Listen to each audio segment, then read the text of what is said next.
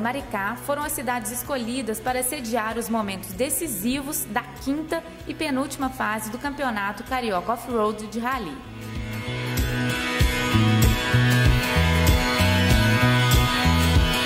Is it nature or nurture that makes me walk this way?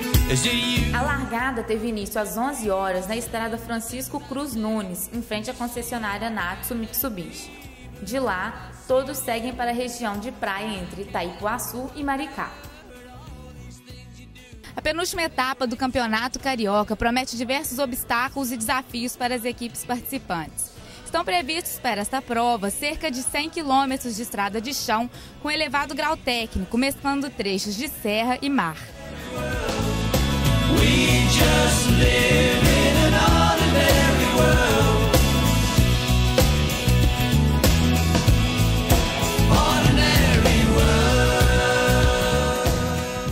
129 carros irão percorrer as trilhas da região. Todos os inscritos ajudaram na arrecadação de quase uma tonelada e meia de alimentos. Estes alimentos serão doados à entidade de remanso fraterno e Igreja Santa Terezinha do Menino Jesus. So